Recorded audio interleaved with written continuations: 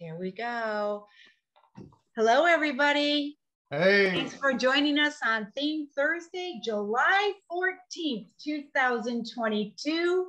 And Margie, you came up with a really good winner. Why don't you tell us about what we're going to be doing today? Oh, well, today we're going to talk to uh, a number of the people that went to IAPS and discuss what we learned there. And would also like to hear from the other members about what they're working on, what new things they've learned either through this program or possibly workshops. And uh, so that's what's uh, up. That's what's coming up. Well, I wanted to let everybody know if you, those of you who don't know me, I'm Kathy Anderson, the president of PSSC. Margie is our coordinator, chair, director of our special events with Theme Thursday. Chris has joined in, your vice president. Uh, Bob is here from the board from uh, uh, our Sunshine Department. And uh, I'm really glad that those are you that are now starting to pop in as my screen is getting uh, more full. Um, we've got Sally also, who's uh, kind of doing some work in the background and she wanted to definitely listen in as to what was going on because she was very busy at IAPS teaching and just hearing all sorts of really good things. And I asked her if she would kindly pipe in at some point with a little bit from the instructor's perspective of what it's like to be at IAPS and be able to have to deal with the minions of a pastel artist. So um, how do we want to start? How about uh, what I'd like for people to do is maybe go on mute uh, and then maybe raise your hand or raise the hand uh, so that we can have maybe one person talking at a time. Uh, and then, uh, you know, just be kind and respectful to each other so that they can share some tips. And if you want to have a dialogue going on or a couple of people, that's just fine. Just go ahead and, and mute and add your, your, your comments, okay? So with that, Margie, would you like to start? And well, definitely. Uh, when I was there, it was my first IAPS ever, and it was really exciting. I stayed at uh, the Hotel Albuquerque, which actually, when I first got in, was kind of a problem. They gave my room away. so I had to wait it out but then um, it was great because everything was right there, very easy to get to and from the classes, maybe go upstairs and change. So, although while we were there, my understanding was the weather was really fabulous um, compared to the one a couple of years ago. But I took um, a workshop with a gal that I really, really enjoyed, and that was Steffi Clark. Ooh. And Steffi is um, fantastic. And what we did in her workshop was we did a vase with flowers and we did grapes. So I'm going to hold this up in front of me. This is actually what we were given as reference material. Can you see that? I have to come up closer to the camera, I think uh, or make sure that it's in the view. Oh. She's in the space shuttle. Well, that's the problem. I'm in a black hole. she needs to turn off her background okay. and make it real. Okay. All right. So um, Steffi actually gave us a packet of photographs and a, a background of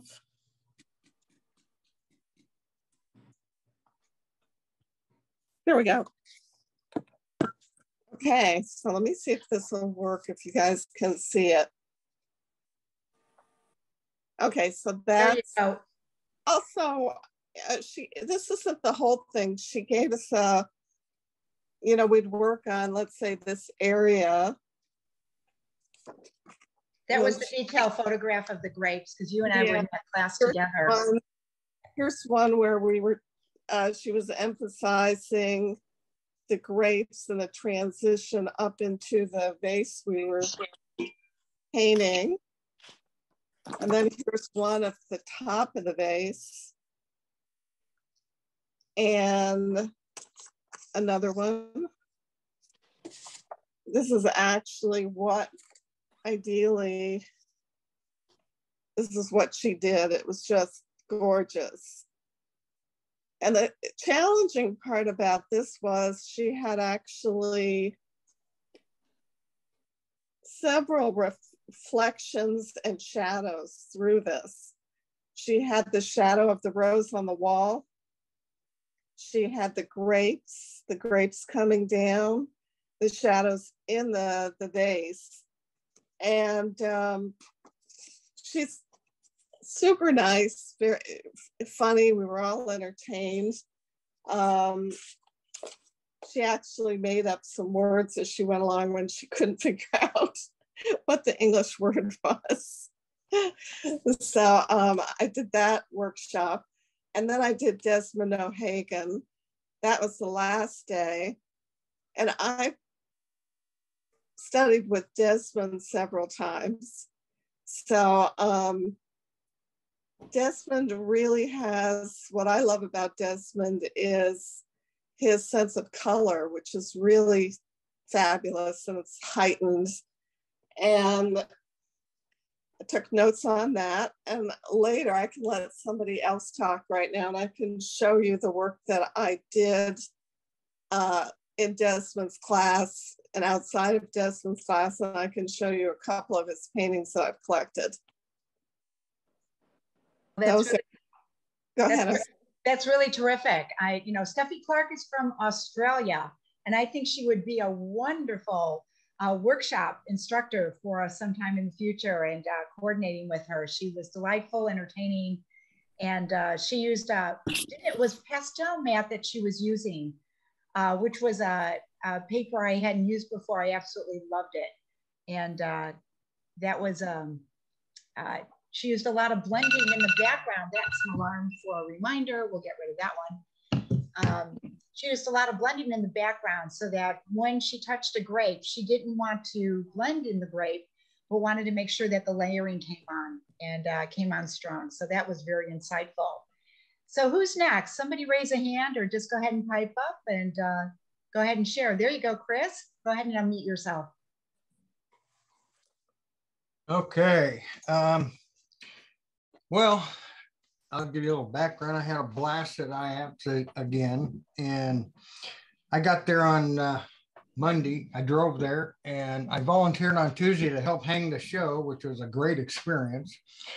And I also volunteered a couple of, of uh, demos to man the camera, the video camera. So that was kind of fun. But I took Lyn Asselta's workshop and several other demos, and I'm going to talk right now about what I learned from Lyn Asselta and show you guys some stuff. And I, if you need more info later, you know, if we run out of people talking, I can talk about some of the demos I did too. I got notes for those, but um, let me start out with Lyn Asselta.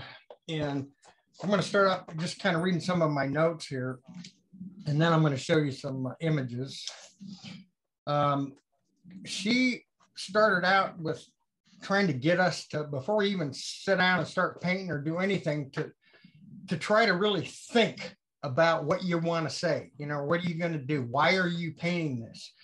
Uh, she wanted to know what we had to say and who what did we want the viewer to see or feel? Um, she was talking about selection elimination emphasis soft edges um, select what's important and um, avoid temptations. In other words, don't you don't have to put every little thing in your painting. You just need to put what's necessary in there to say what you want to say. Um, decide why you want to paint a particular scene. Know Did we lose you, Chris? No. Which Chris? Chris Stillions was talking. Chris, did you? Yeah, hang, hang on a second. Yeah, just a second. Oh, can you hear me now? Yeah. Yes, we can hear you good. Yeah, okay, yeah, yeah, I, you lost me. You may do that. I've had some pro problems that way. I don't know what that is. Anyway, um, okay. Um, oh, whoops, wait a second. Okay, um, let's see, where was I? Oh, decide why you want to paint a particular scene, know your narrative, your story, your intent. Choose your intent and be sure of it. Then she was talking about how to about cropping and format. Um, you know, a lot of us bring our uh, reference photos and we start painting them before we really think about how we want to how it should be cropped.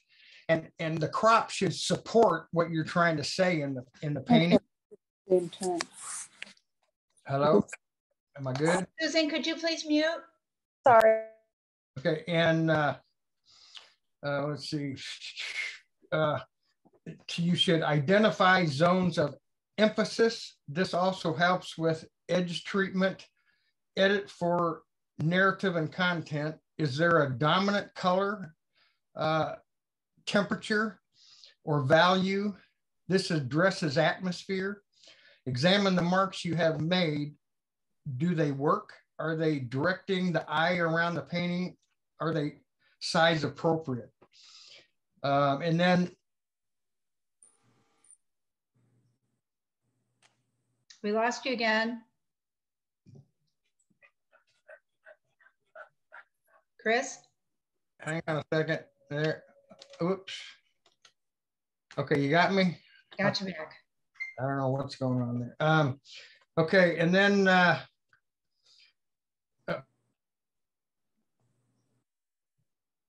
photograph to support what you're trying to say. Chris, can you repeat that line, please? Yeah, just a second. Okay, she uh, talked to us about cropping our image to support what we want to say. And she had us do four thumbnails, um, like a horizontal. I, I did a horizontal panorama, a square, a re horizontal rectangle, and a vertical rectangle. And then, she, and then we had to do a value study. And then we had to add color to those value studies because she likes to add color to her thumbnails. Um, so you got to create a zone of interest, primary zone, center of interest, secondary supports the primary, and the uh, third zone is the area of least concern. Um, when you're painting, you should reference your thumbnails. And now, and she, she had us write a paragraph about our image, what we felt about it, what we wanted to say, you know, and I wrote peaceful, quiet feeling of the end of a beautiful day. And you'll see my image in a minute. But then she wanted you to take two or three main words out of that statement and write it on a piece of tape and tape it on your board before you started painting. And I picked out peaceful, quiet feeling. That, that's what I wanted to say in my painting. So I am going to show you these images now. Hang on a second. And oh, I got to share my screen too. Uh, can you set me up for screen sharing, Kath? Let's see. Can you screen share now? Let me see. Yeah, yeah. I guess that's right. Okay, yeah. Okay. Um, here's my, can you see that? That's my original reference photograph. And I cropped it into a horizontal panel because I wanted that for me added to a peaceful, tranquil feeling. Um, these are the thumbnails I did. You can see the horizontal one at the top.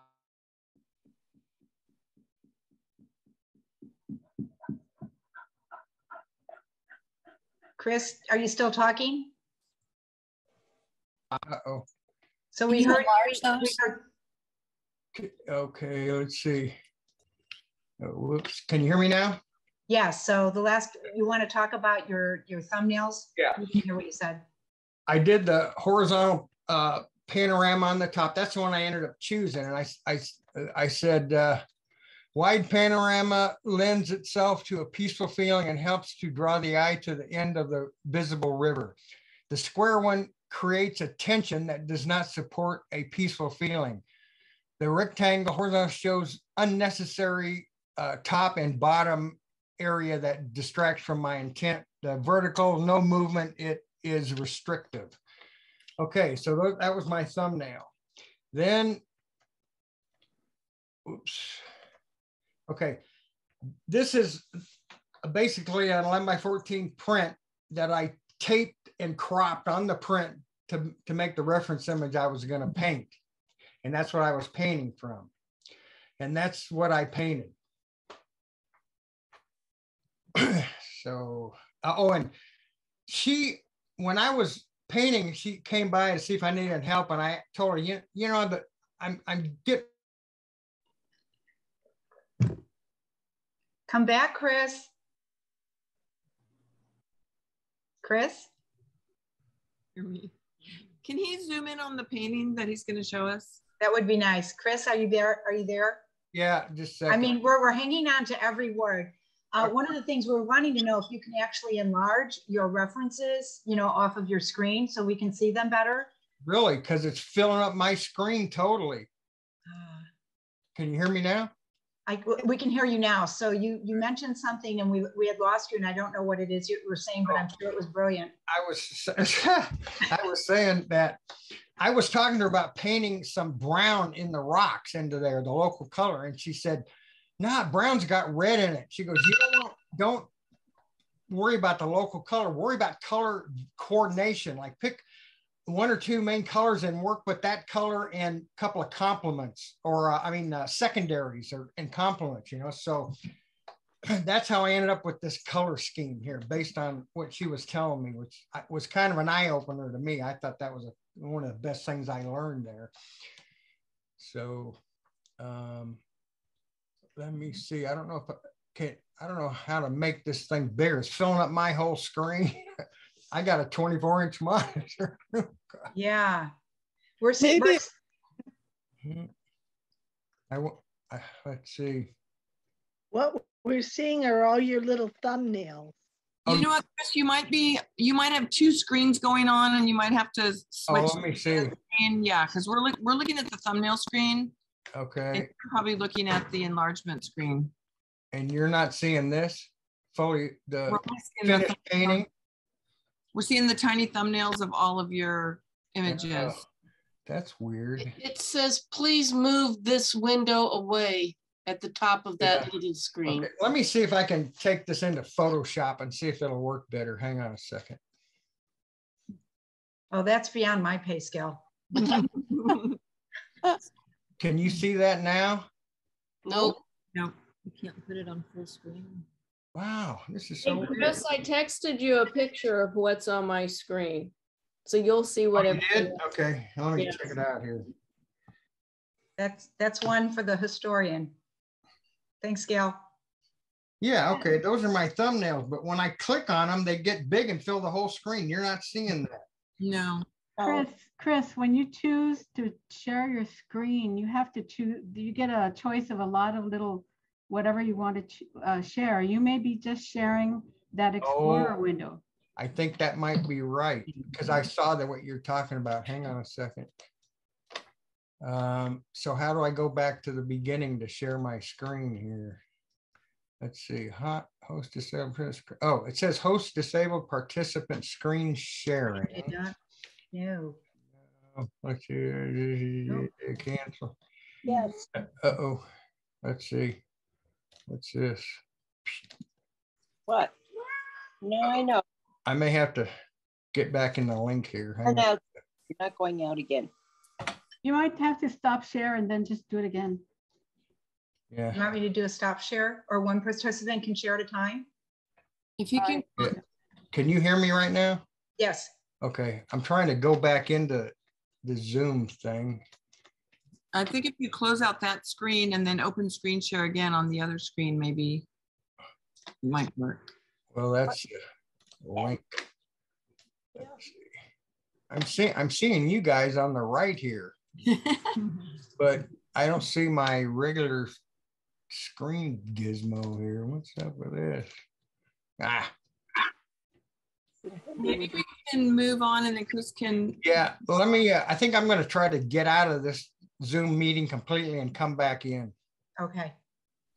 All I right. have something to share. This is Lynn. Hi, Lynn. Hello. I um I have my friend Terry Garson here. She's a member. We're in the Central Coast up at the ranch. And so I'm just excited that we have people from all over the world right now and all over the state and all over the United States. So Hi, everybody. hello. Okay, so I wanted to talk really quickly about Stan Sperlak's workshop, which I took on Sunday at IAPS. And one of the things that I realized that I took away from this is that I need to train my eye to better recognize values. So, you know, values are super important, and you can take your iPhone, as you know, and you can turn it to the black and white setting and you can look at your pastels and you can see which ones are lighter and darker and middle. But what Stan challenged us to do was train our eye to recognize value immediately. And I know that the really good artists are doing that automatically. Sally, I'm looking at you because I know you do that. You pick up a light pastel, you make a little square, you pick up the next one you think is the next lightest, and you put it next to it, and you keep going up the value. Well, actually, if you start with the darks and go up the value scale, you go from the higher numbers, no, the lower numbers to the higher numbers. Either way, start with the dark and go to the light, or start with the light and go to the dark. But you need to try to get the values in order. Make a gradient from dark to light, and then use your iPhone to look at it and test yourself and see how you did. And if you had some of them out of order, you need to try again. So if you look at what I did on my phone, I did this with color and you can see that I got one or two, looks like one of them out of order. When I turned to my black and white, you can see one of my dark ones should have been down mm-hmm. with the darks. So this is an exercise that he challenged us to do on a regular basis. Like every time you go in your studio, pick up some pastels and make a gradient and see if you're correct. See if your eye is correct. Because once you get good at that, he said, your values will come so much easier to you. And I'm like, that's a no brainer. That's just something I should be doing every day to train my eye better. So I loved that. And then he had us do another exercise where we took a lot of pastels of the same value, different colors, and we built a gradient in the sky using like maybe let's say a lemon yellow and a peach and a blue, all in the same value. When you squint at it, you don't see the edges because they're the same value, but it creates luminosity because you're putting those values, same value, different colors next to each other, and it builds this beautiful luminosity of color. So I guess that's something I kind of knew but when he demonstrated it, and here's kind of what I mean. If you can see my phone. Yes. He started with one color and then another color of the same value and kind of overlapped that color and then another color and kind of overlapped that a little bit and kept on going. And it just creates this beautiful, beautiful vibration of color. So that's something to practice within your value shapes when you do let's say you have a dark value shape, you can put a lot of different warm and cool colors in there of the same value. Same with your middle, same with your lights. And I mean, I know this academically, but it's something I just need to practice. And I think it's good for all of us to practice those things on little exercise pads before we start painting so that when we go to our actual piece, it's kind of there and it becomes more intuitive. So. I was just gonna show Lynn the thing I take out with me. Can you see that?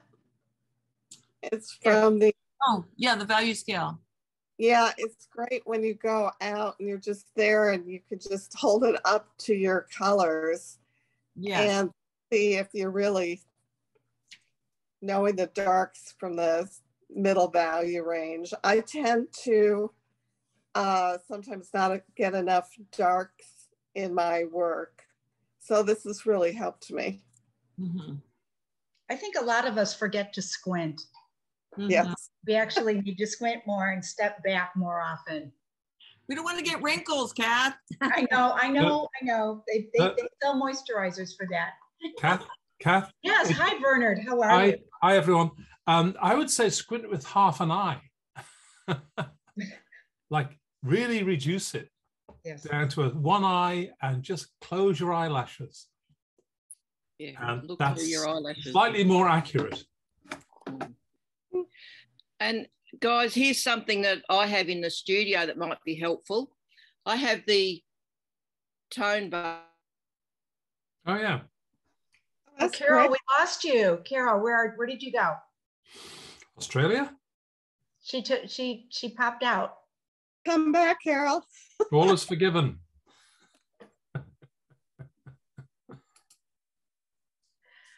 Well, I, I would, I would like to share something. I had the great pleasure of having a newbie come into the pastel scene of Daniel Keys. So I had a workshop uh, that was originally supposed to be by Olga Abramovich with florals that Daniel was asked to become the substitute teacher. And then it turned out that uh, Corey Pitkin with portraiture uh, was not able to come to IAPS. So Daniel was asked to see if he would uh, substitute as a teacher for him. Uh, and the guy was magnificent. He's really well known as an oil painter. And uh, pastels are relatively new for him. He was asked to do a one man show with uh, Ginny Burdick up in uh, Fresno. Uh, and he did a whole series of florals, which is something that he's been observing all of his life. Uh, Daniel also had uh, studied under Richard Schmid for, worked on and off with him for 10 years. So we were getting a lot of great instruction trickle down through his student uh, to us in the workshop.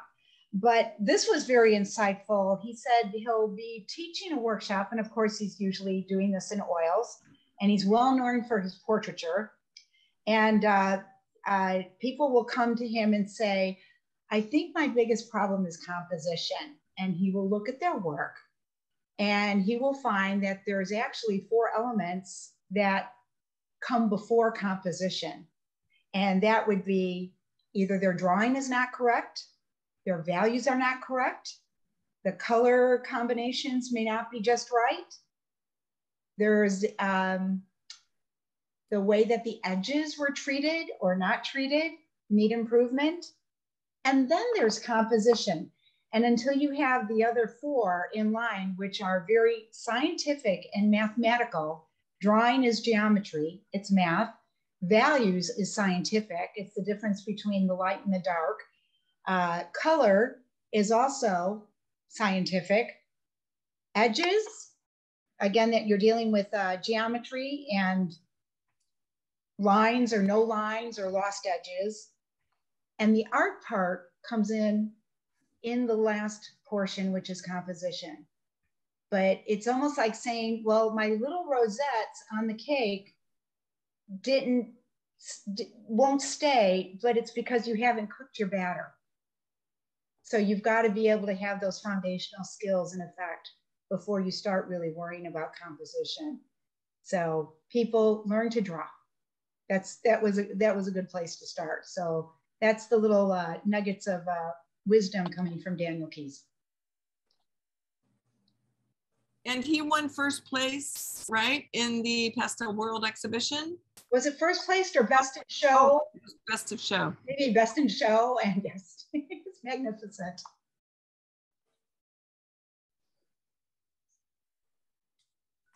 Uh, don't be shy. People can pipe in.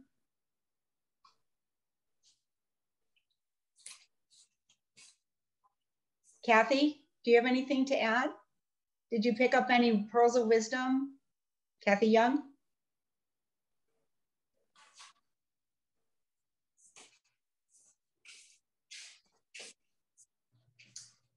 Can you hear me? Can you hear me? There we go. Now we can hear you. Yes. Okay, my, my computer is really an echo, so am I clear? So Kathy, do you have another, you, you're on two screens, so you have to, you, you must be signed in on another, uh, an iPhone or an iPad? There's too many voices. I can't understand you.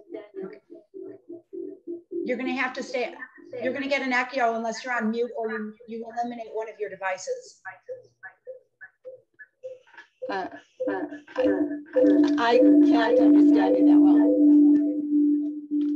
We'll, we'll, we'll have you mute for, mute for right now and we'll see if we can't get that figured out. I'll, I'll put something in the chat for you. Uh, Jolene, you were, you were at IAPS, yes?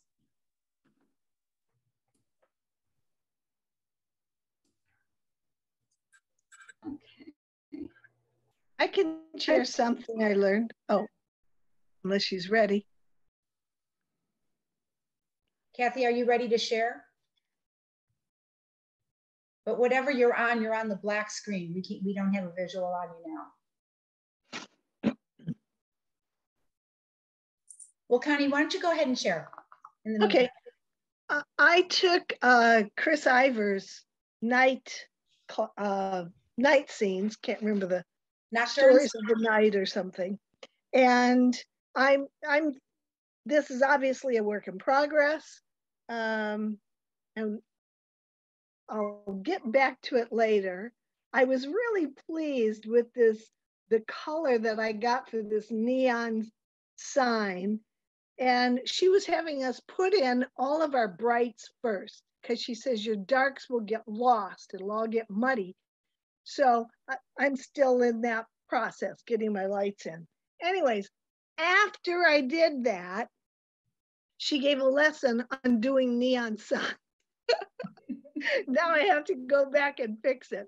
And what she said was and you can and now this looks flat to me even though it's a beautiful neon blue she was saying whatever, let's say you have the letter X that you're going to do. You in white, you put your letter X, and then you get about five shades of whatever color you want that neon letter to be. So let's, and she used the example of green. And she started with her darkest green and outlined that white. And then she took the next lighter shade and continued till she did four or five shades of that green. And then she says, when you're done, you go back in with your white and pencil it in very carefully in the middle. And it was amazing how that looked like a neon letter, just really popped out. So now I have to go back and fix my neon. so there you go. That's my sharing. That's delightful. Um,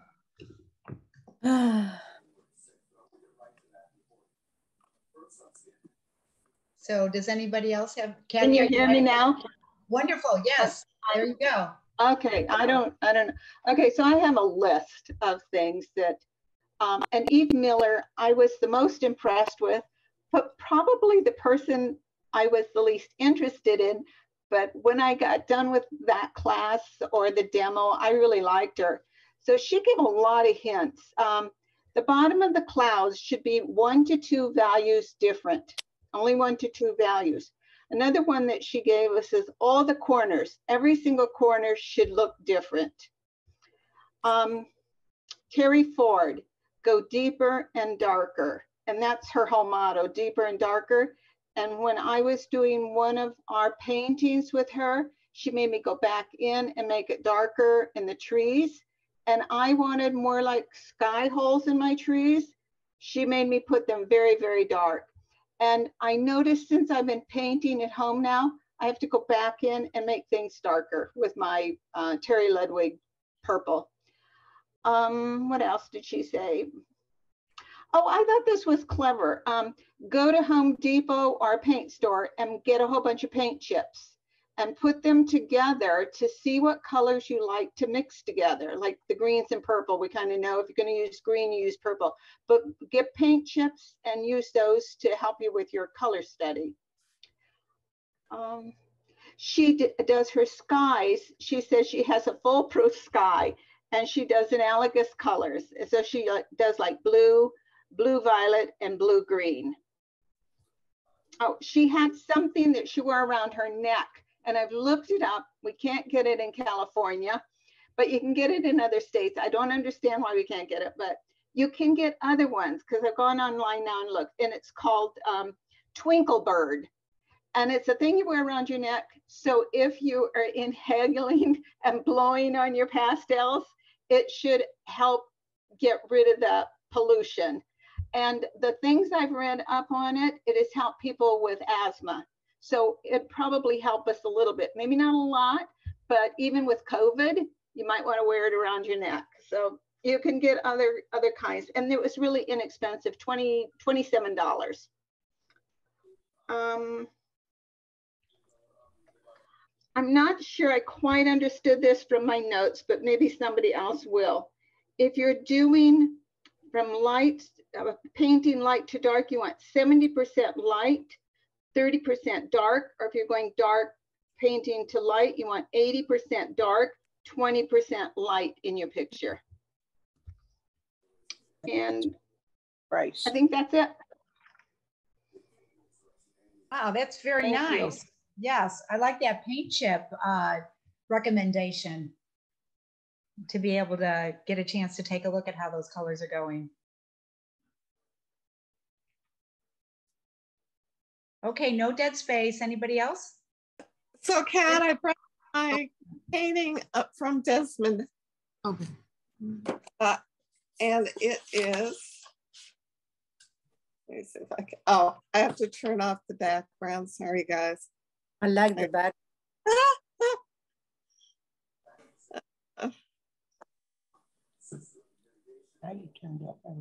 Okay.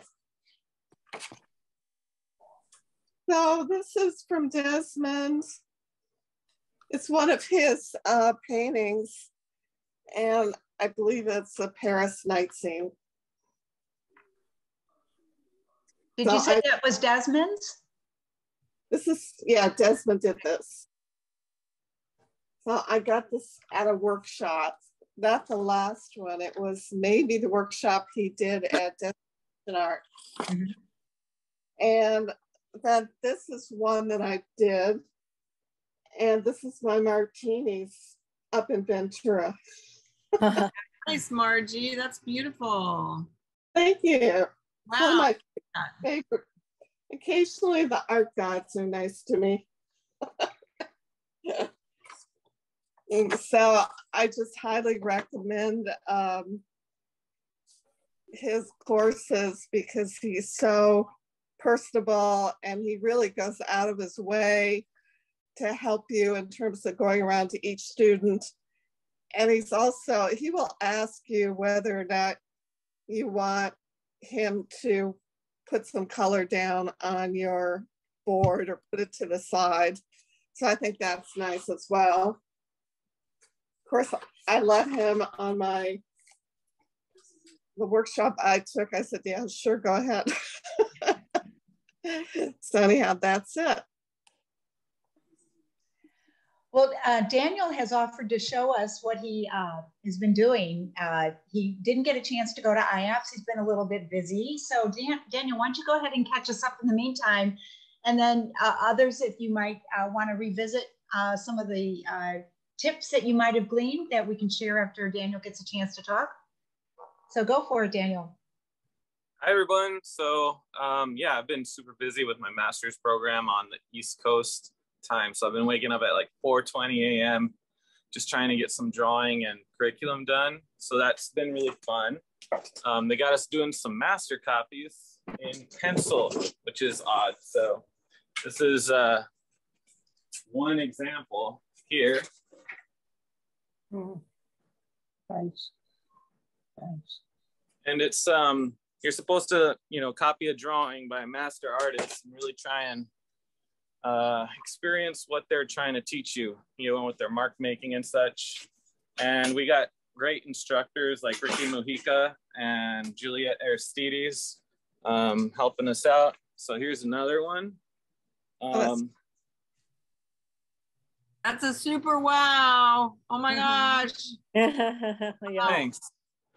And so it's really great because I feel like I'm uh, building curriculum, you know, for uh, demos and such.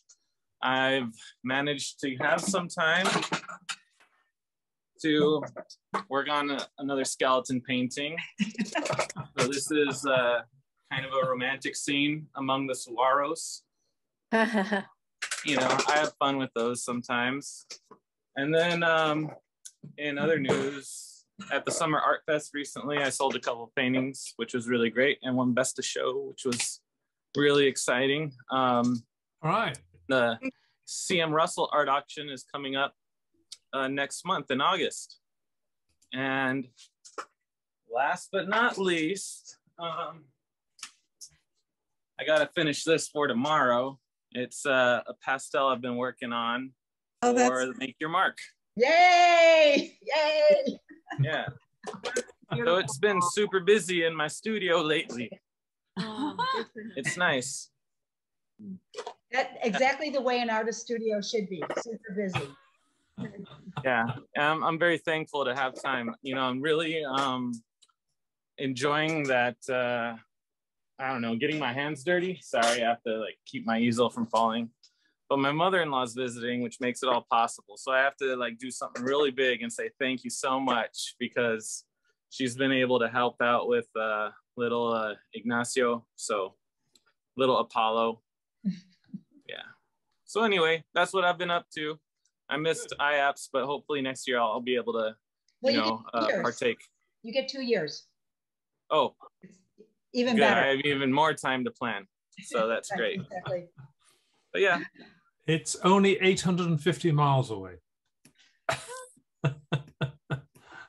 Yeah, in a rocket ship, we can do that. Yeah, right. And listen, guys, if you're needing another fix for a convention, Tell the us, Australian Carol. Pastel Expo is on in September.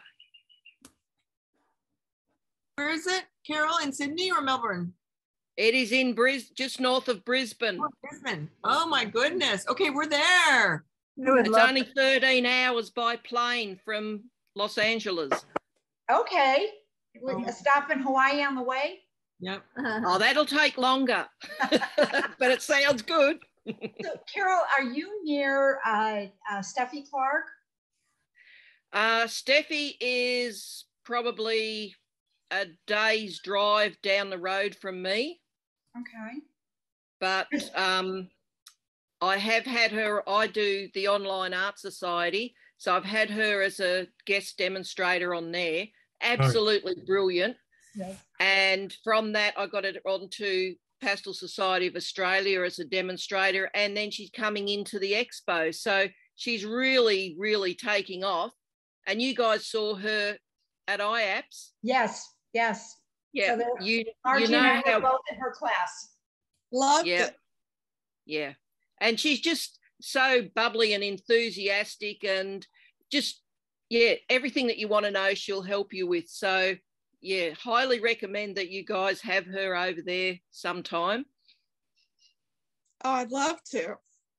She's Yeah. so engaging and fun. Yeah. But anyway, yeah, Pastel, Soc- uh, Australian Pastel Expo. We're supposed to be alternate years. So this, because IAPS got cancelled, you it went to this year, which is an expo year. So we've now we've got them both in the same year. It's going to be a bit tricky. Mm-hmm. But it, anyway, it'll be fun. Definitely. Yeah. So it's on from the 31st of August to the 5th of September, just north of Brisbane on a seaside location. Sounds amazing. Yeah. September. Okay. Yeah. Did you guys, because I didn't come in immediately, did you guys talk about the Make Your Mark show, the deadline being tomorrow? Did you already talk about that? Well, we can talk about it again. We did mention that. Oh, okay, it's okay. No, go uh-huh. ahead, Len, because there's a lot more people that have joined. We have been blowing up all the society Facebook pages with last chance to enter. Um, usually we get about 400 entries. And I think we're pretty close again this year, according to Chris. Um, but it's one of those shows that it's online. You don't have to frame it. It can already be sold. You know, you don't have to ship anything. So please consider entering because you just never know what's going to strike up a chord with the judges. And we have Daniel Keys, Kim Lordier, and Timing Lim as our judges. So, I mean, I even entered a gecko painting, you know, whatever, whatever strikes your fancy. Just do something fun and look in your studio and see what you have from, it's three years, right, Chris? Oh, three years old? That, is that right, Chris? Has to have been completed in the last three years? Yes, yes, yes, yes, yes. Okay. I was muted. So look and see what you've done over the last three years during COVID. People were painting a lot. And just, you know what, if you don't enter, you don't have a chance of winning. And we have huge prizes. And we also have a PSSC member prize. So if you're a member and you're the highest scoring member, you get a special prize. So anyway, tomorrow night at midnight is the deadline. And I don't know, Carol, what that means for you because you're a day ahead of us. But you have one more day, I think into Saturday, correct? If Saturday Australia time, yes. So it's midnight Pacific Coast time tomorrow, Friday, July 15th. That's my plug. All right. Love it. Good. Absolutely love it. Like it. Good job. So Chris Overs, do you have anything to share with us? I'm calling you out.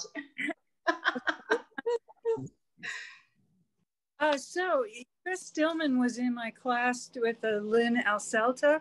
And um, so I can't, I don't know what all he said because I had to leave for a little bit, but um, I really loved that, her workshop. It was incredible. Um, I worked on a piece, I can kind of show you, maybe you can see. Um, this is uh, my reference picture.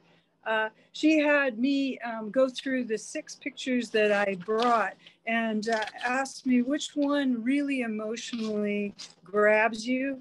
Um, and that was the one. Um, and then, as Chris was saying, um, we had to write a little paragraph and everything. And what um, I came up with was um, stormy sky and clouds, the sun breaking through on the water. It's a silver lining. Pelicans are flying across. And so, silver lining became my line. And so, uh, like he was saying too, I had to do, um, you know, just kind of explore what kinds of different formats would work best for it. And um, I chose the panoramic one because I felt like that gave the sense of space.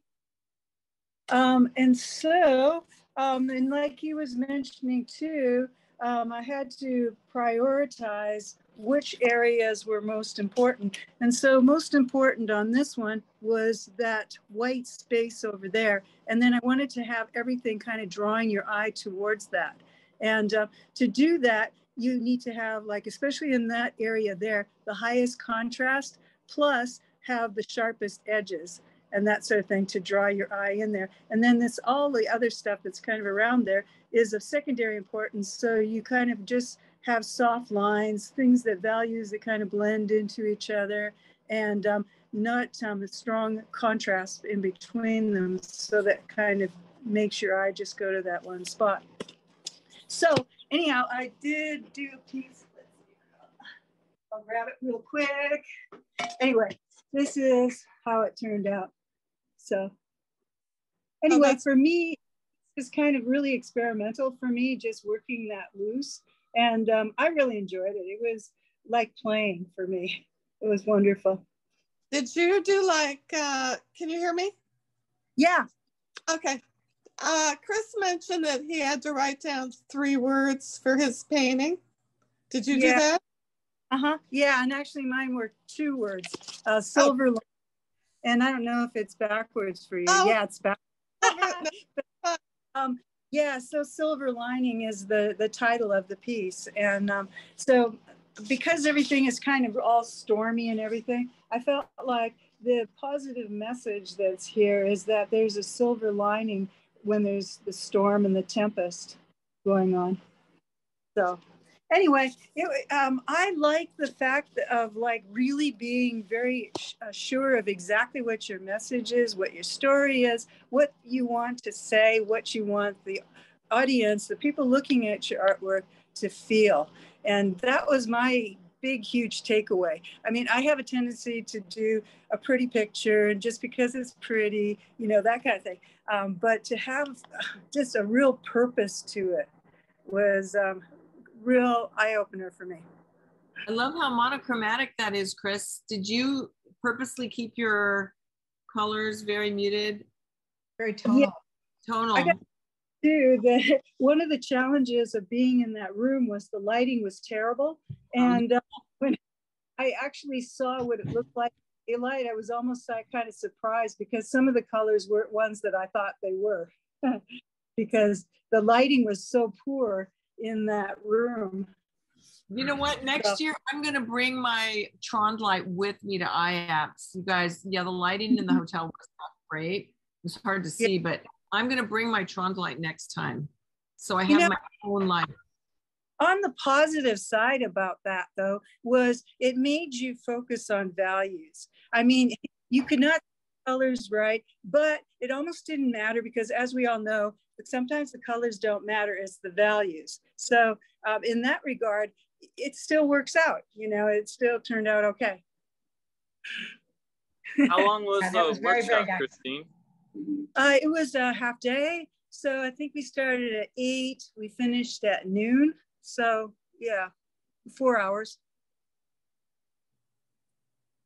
It was just the So- right amount.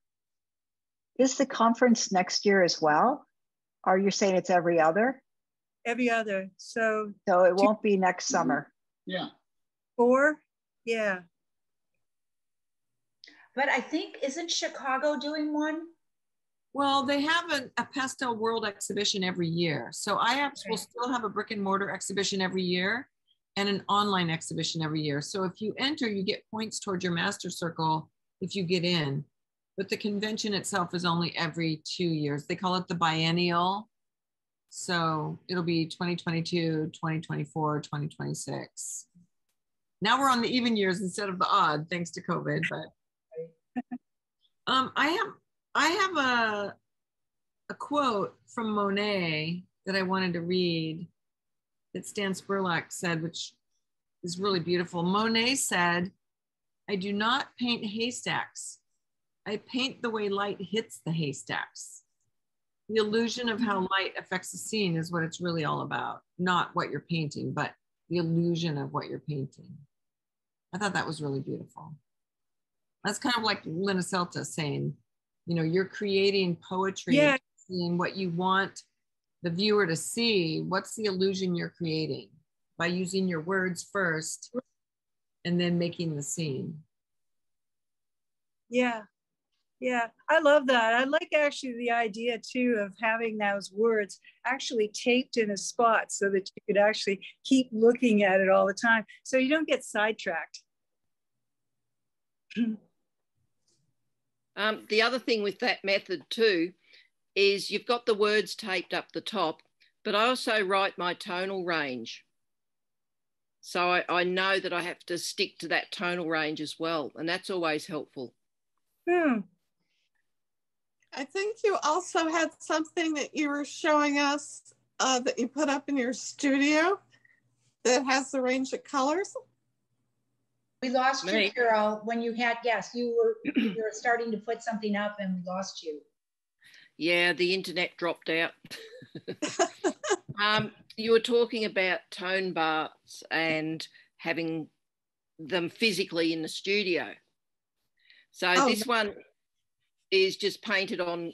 It's one I made, and it's just Mhm. painted on canvas and stuck onto a board, and it's pretty old, so it's got some staining on it.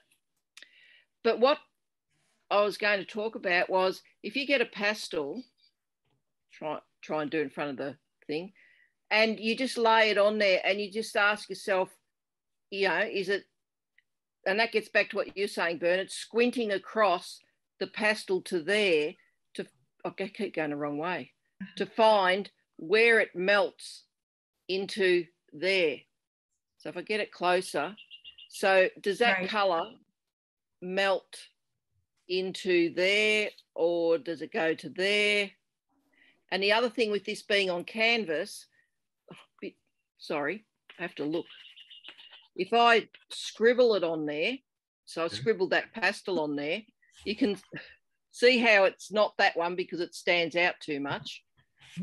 It's not that one, but it seems oh, to melt into there. So that's the value of that pastel.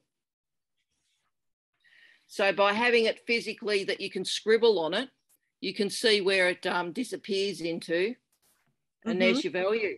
And then when you're finished, you just get a piece of cloth or tissue and wipe all that off, and you're good to go again. Great. That might be a handy hint. I think that's a nice handy tip there, Carol. Thank you. Okay.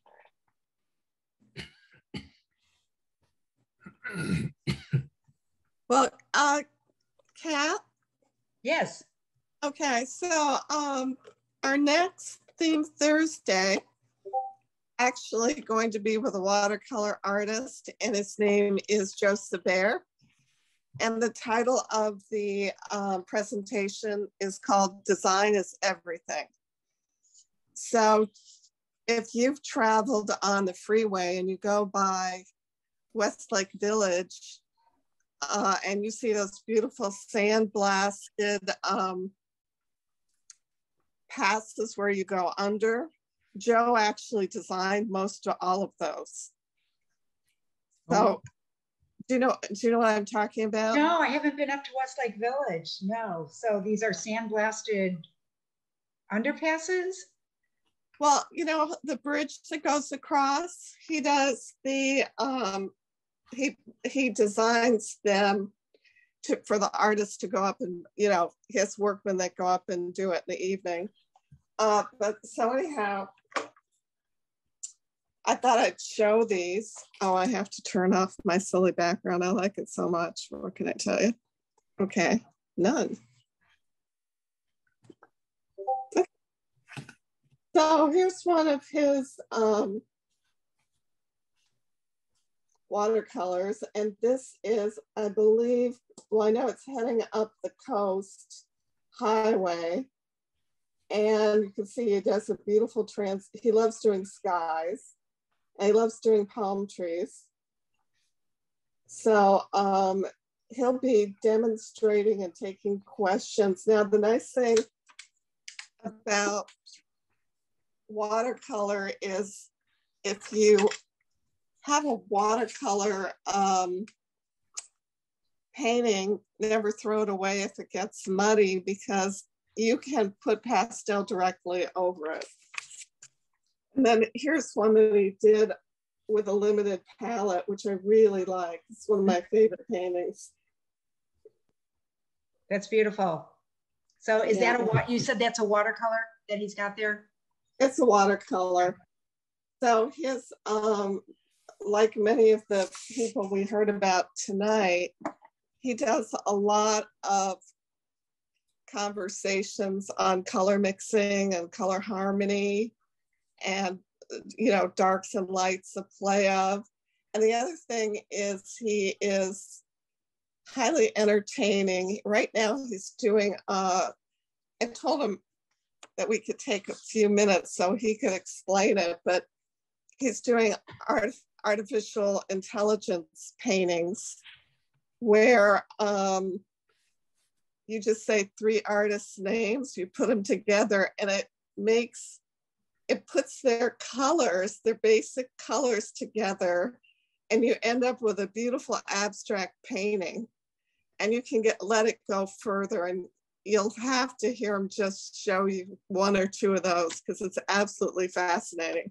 Well, this sounds that sounds like a really terrific thing Thursday that we'll be having coming up on July 28th. So Correct. make sure you come back. Um, I don't know Joe, but I'm I'm looking forward to meeting him. And um, Margie, I think we're also Daniel. I think you're going to be teaching a class, uh, a workshop for PSSC, right? Yes, I'm working with Maureen on doing one in early November, I think, and it's um, uh, a nocturne. How to paint a, a nocturne scene with like some glowing element, whether it's a, a light on in the distance or some skeletons holding hands. This, like like this this is oil paint, but it's a nocturne. You know, it's like uh, kind of a romantic scene.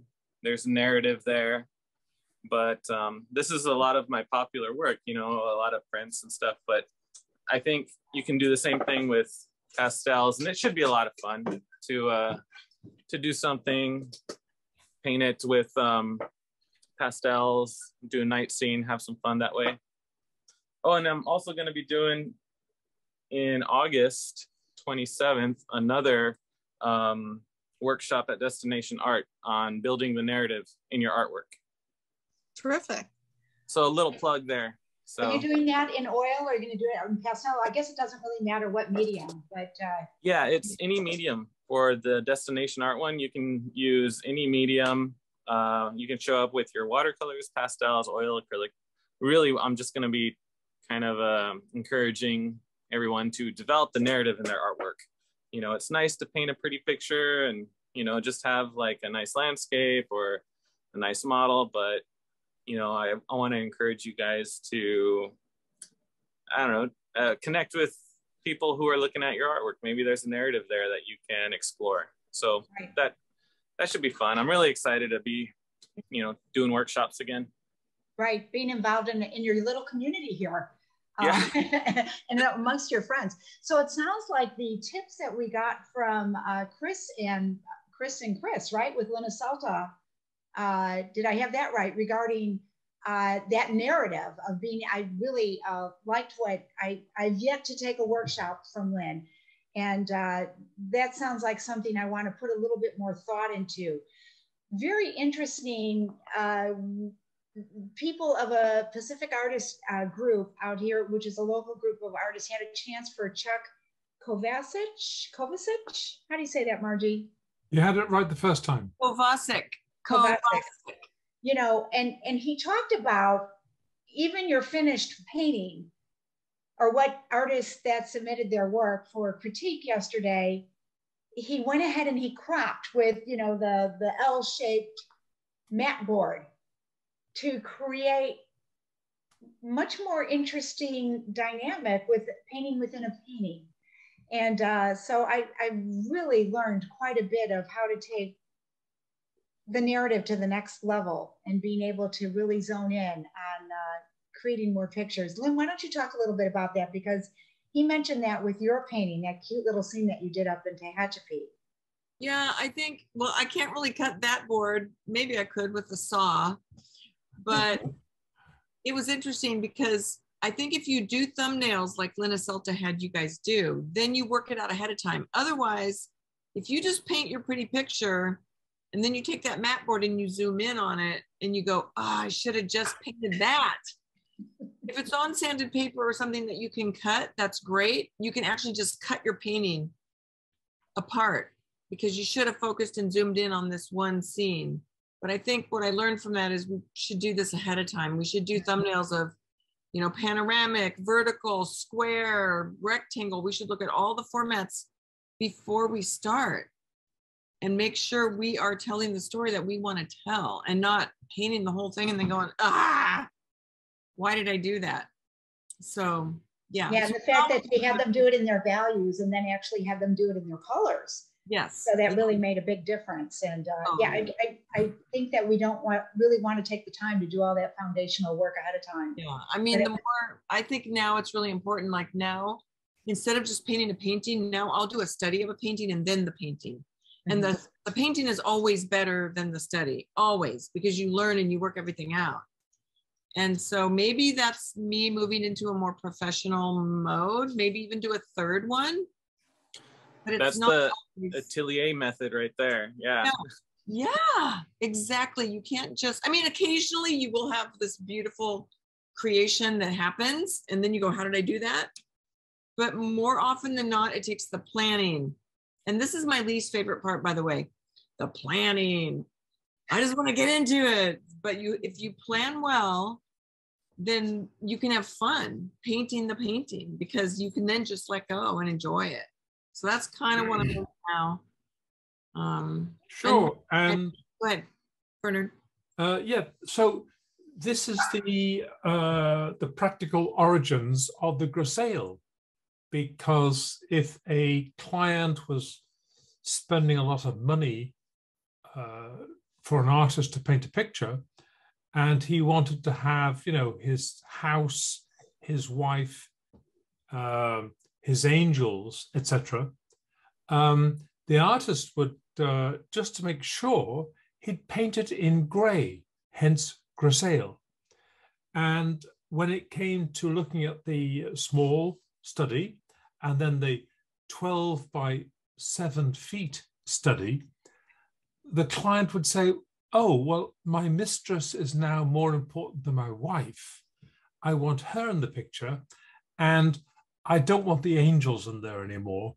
I want trumpeteers from heaven. So the artist was able to then make adjustments on the massive gray scale. And, and you know, you've been talking about gray scale, uh, gray scale, grisaille all evening. And that's why it matters. Um, to, to sort of sum it up, so you eventually build to the final composition, and there's nothing wrong with being prepared as the military would say, you you always want plenty of um, reconnaissance, and this is what we're talking about at Oh, a yeah. practical level. Well, one of the things Chuck Kovacic also said yesterday was that he'll paint like 60 paintings a year. And he will choose 12 of his best pieces to start entering shows, putting them aside for the gold medal show or the Gino, Nice. whatever. So it takes a lot of paintings, kind of like when you're taking photographs, you know, you might take a thousand photographs and then choose a few that are actually worth doing something with. Sure, So that's right. And you and you must in these days delete what you don't want. throw it away. Some people throw away, some That's people very, very important. No, I wanted to share another little tip from Daniel. And again, this was from the uh, the portrait class. And um, he said that he expected people in his class to actually fail or feel like they were a failure. Uh, you know, it was only a little workshop. We had a morning session, we break, we broke for lunch, and then we came back and we had the afternoon session. And he he basically did a demonstration in the morning session, and then we came back and did the work uh, after uh, lunch break. But he says, you know, accept your failure, learn from it, and that equals success. And he expected everyone to fail in order to succeed. So that was a, a really good takeaway from his class that a failure isn't really a failure. It's actually a success if you learn something from it. And everybody admitted they learned a lot at the end of either one of the classes that I had taken, you know, from him. Right. Yeah. Yeah. thing Chuck said is you don't have to show anybody your failures. So if you're worried about that, that's the beauty of art is you only get the pieces that you feel are successful or that your colleagues have, you know, corroborated with you that they're successful.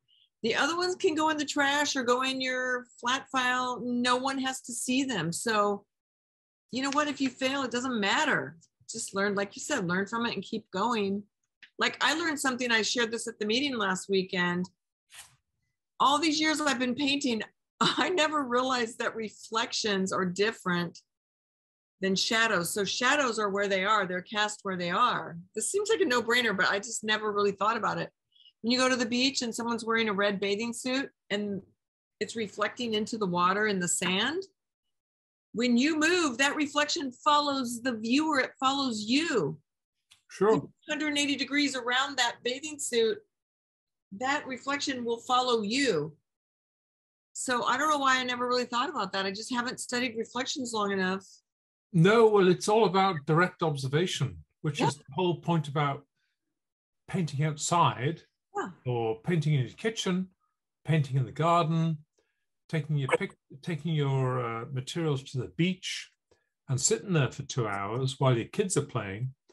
And Yes, I think can't that- do it on my I- iPad. I And I think, Lynn, that's where you see it because we can talk about theory forever, but the actual practice is what we're talking about. And, and so this is what we need to do with the, with the Pastel Society of Southern California is to create a number of exercises, I think, where we're going out.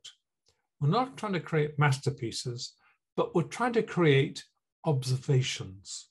I think if we do that with our proposed paint out uh, ideas, uh, which we're going to develop a lot more, I think we're going to create a, uh, some really good teaching moments for everybody. And that's really the purpose, uh, the underlying purpose for the future PSSC.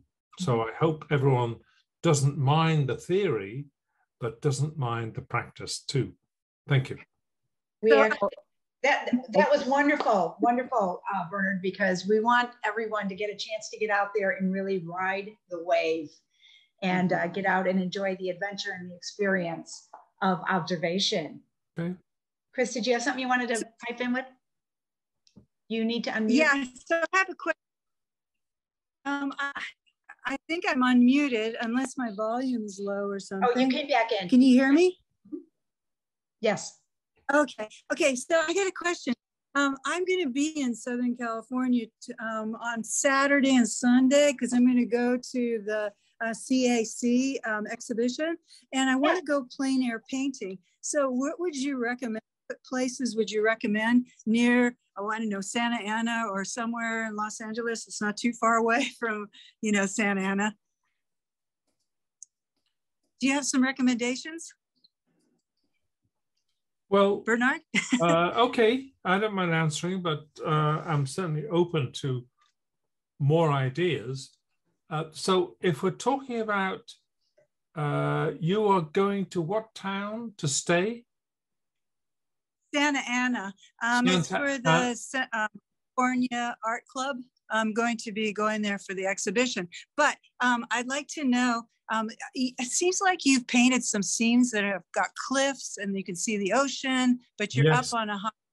Yeah, and it's beautiful. I'd love to do something like that. Well, th- thanks for mentioning that. Uh, but it's not a fantasy that I'm painting.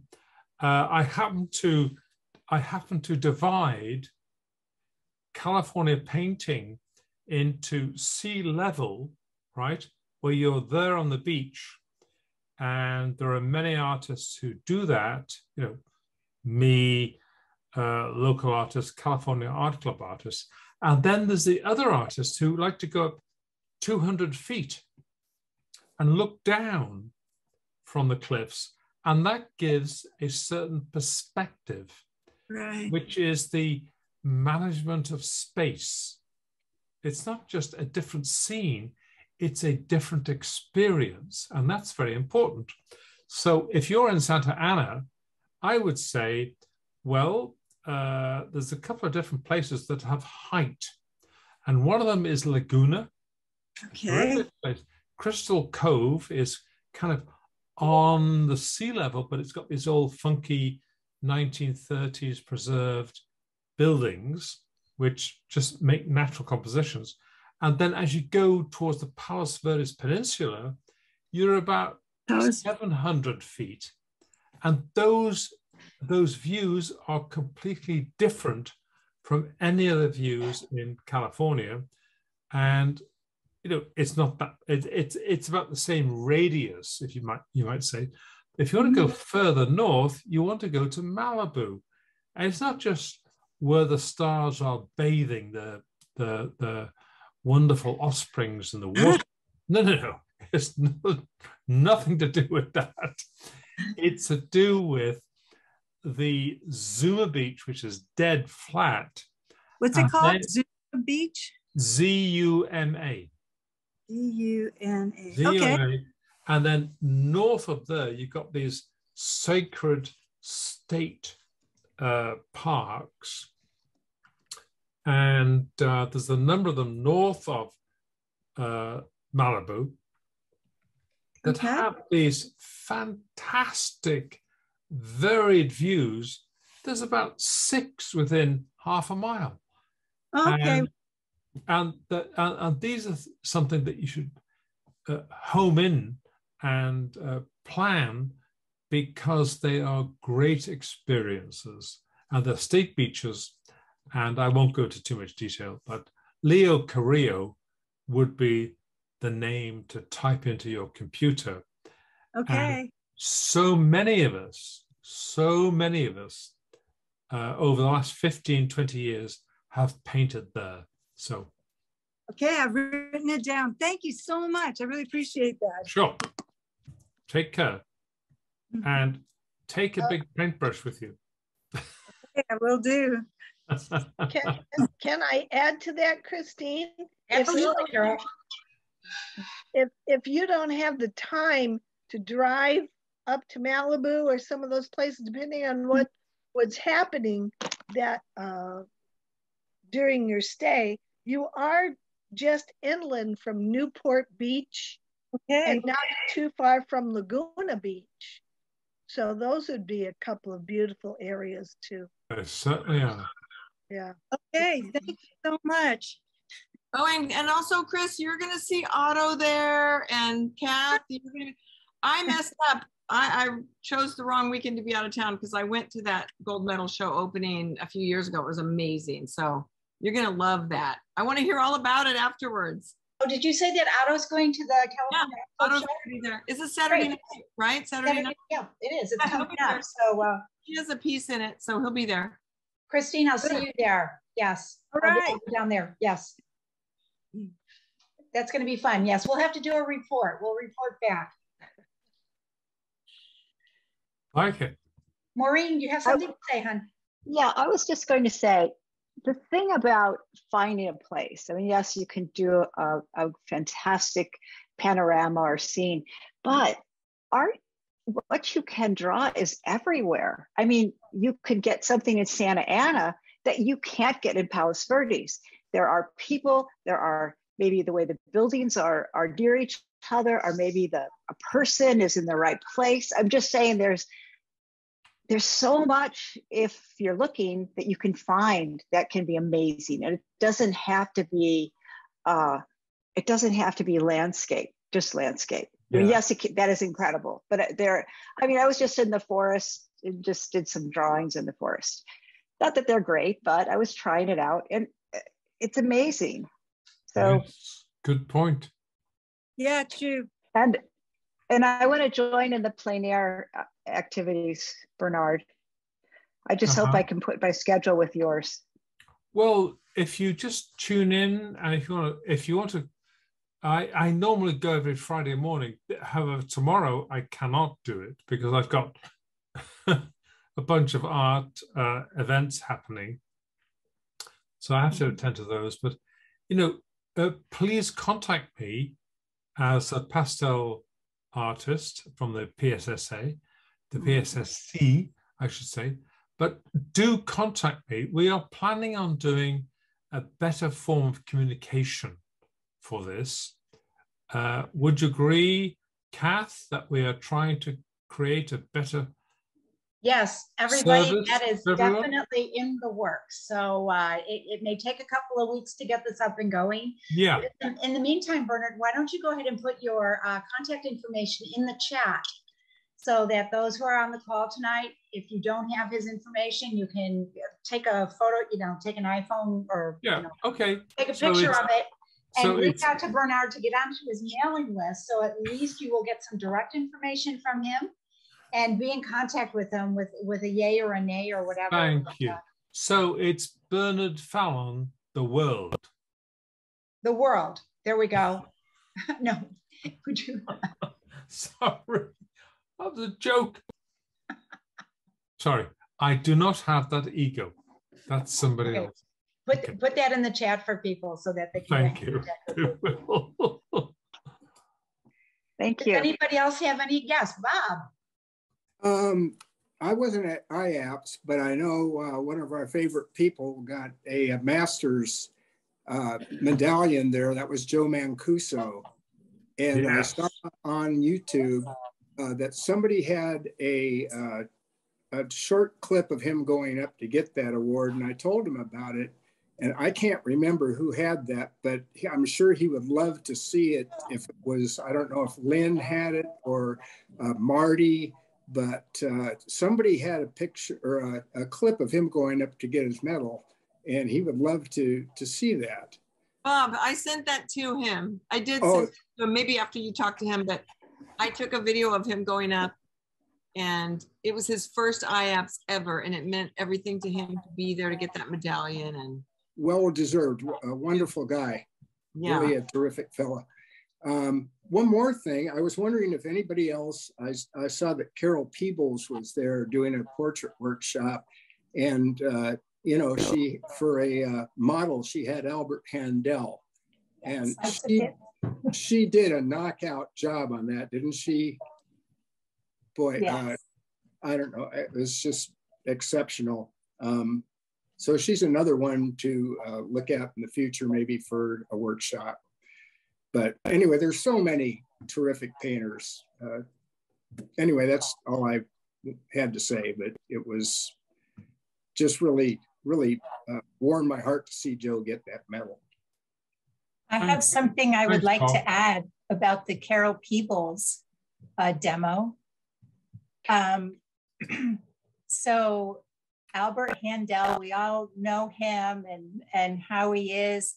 He was sitting up on the stage and trying so hard to be still. And he kept asking her, Have I moved? Have I moved? And she'd say, No, you're fine. You're fine. And I just felt like he was really trying to contain his energy. And then she asked him a question. I don't remember what it was. And you know, he answered and, and really was coming to life. And then he said something like, Is it okay if I talk?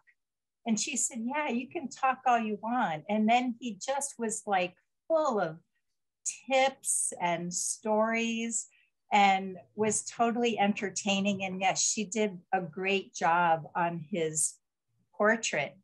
And I captured a photograph of him that I wanted to hold up to my camera and share with you all because I'm so inspired by it. I'm going to do a pastel of it. And if anyone else is interested, it would be kind of fun to see how it, it gets interpreted. But he was, he had gotten off the stage and he was still talking to her, and the light was shining on him. And I just think it's a cool, um, it's wow. sort of it's looking a little, it's actually very dark around here. So my camera is not really doing a great job of it. But anyway, that's Albert as he's leaving. Wow. I just thought it was fun. Well, that sounds like a future theme Thursday that we have a picture of Albert and we have our renditions of how we do Albert. Okay, I love it. Thank you, everyone. Now, do we have to get a release from him for his uh, photograph? I don't know, possibly. I'll ask him. I'll okay. Ask him. Yes. I'll send it to you, Kath, and you can send it to him and I will. Get his permission. That'll okay. be perfect. Yes, that I'll, I'll outreach to him. Okay. Uh, Lupe, did you have anything to join? Join in. Oh, she called on me. Uh, you guys have pretty much gone over it. Yeah, not much else to say. Well, we had, what was it, Lynn? You said 30 members uh, were able to participate at IAPS this year. We did a fabulous job. If you weren't at the meeting, I don't have any problems repeating what I said um, at our Saturday meeting, uh, that uh, the Fiesta night was a tremendous success. Uh, we had some of the most glamorous artists uh, that I know that were uh, doing their signature on Hollywood, and we won. Let me get it. The pinata. Go ahead and talk, Lynn.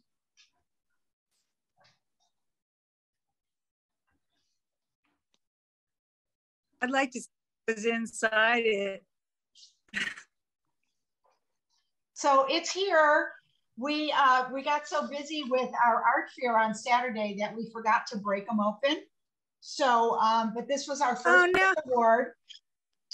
And uh, so anybody who wants to come to the goal setting meeting, you don't have to be a board member to come in and help brainstorm of where we want the society to go for the next uh, year, um, or also our long-term planning. Uh, we'll probably we'll break this open on uh, July 30th, Saturday, July 30th, we're meeting at my house. So I invite anybody to come and join us that day. We're doing a potluck because it's going to be a long day. And uh, if you have ideas and are not able to join us and you want to shoot some ideas out to us, uh, please send them to me or any of the board members and we will put them into the dream machine and uh, see what we can come up with. And a big one is going to be about our education and the direction of um, Pastel Society, what we can do, how we can further help and assist our members, and uh, the education of uh, what we're doing for the society outside of the workshops that we've been doing and outside of what we're doing with Theme Thursday. And uh, trust me, we'd love to have more people uh, get in contact with Margie to be able to host the theme Thursdays. Patty, I love your idea. It would be fun, even if people aren't drawing, you know, portraiture. It would be fun to just go ahead and have that photograph with Albert's permission and be able to see what we can do with it and uh, uh, have fun playing with the pastels. But Pat, that's what is, oh, what's your email address? Let me go ahead and put that in the chat for you, okay? Okay. Yep. And somebody else can talk while I do that. So, Kath, it's a uh, meeting to plan long-term goals, but it's also a kind of a workshop. Like we're supposed to bring some pastels with us. Uh, no, this is this is our long-term goal for the society at large, which is going to be Oh, okay. in the house. Now, Daniel, if you'd like to come up and you want to do some plein air, you're welcome to it. But it's open. uh, Like the meeting starts from nine and it goes to four, right? Correct. Correct. Yeah.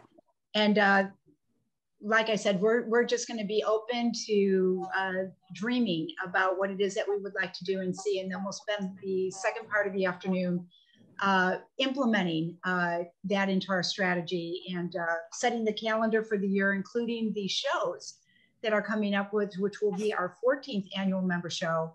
And then the next Make Your Mark. I, I don't really want to advertise the next one until after tomorrow. Uh, so let's get through one before we have to deal with another one. And uh, folks, start planning now with uh, your next member show to be able to enter that because that's a show that's for you. And we'll be deciding uh, what month in the spring we'll be doing that uh, for next year for 2023. So, Right. okay. We'll Okay. keep the momentum going. And Daniel, congratulations. And, you know, I know you're doing a tremendous amount of work and uh, you're enjoying it. I know you're, you are having a good time with everything that you're doing. And it's better than sitting around and wondering what you're going to do. I'm really enjoying it, and um, you know, hopefully, I'll get to see some of y'all at the upcoming workshops. Um, you know, it's nice to jump back into the community. I feel like um, it it's a refreshing. I don't know. I like it. I love to be in a classroom teaching. It's where I, if I was a fish, it's it's my preferred swimming pool. Well said. Very well said. Any other last closing remarks? Well, everybody, I think it's almost eight o'clock. I think, you know, we have a little bit of sunlight left, at least where I am. And uh, I am observing the atmosphere, the way the sunset has been going, uh, according to Stan Sperlak's uh, instructions. And uh, I hope everybody has uh, a wonderful rest of your uh, July. I do hope to see you all and more of you on the 28th for our next theme Thursday. Uh, Joe sounds like he's going to be a really terrific guy to be able to uh, present to us. And then, of course, if you can make it on the 30th, shoot me an email. Let me know that you're interested, and we'll just accommodate it. And we'll make sure we have chairs and room for everybody, and uh, just hope for a really beautiful day. Great. And I want to thank everybody for uh, joining us. I'm going to go ahead and stop the recording now. And then if you want to stay on for a few minutes, that's just fine.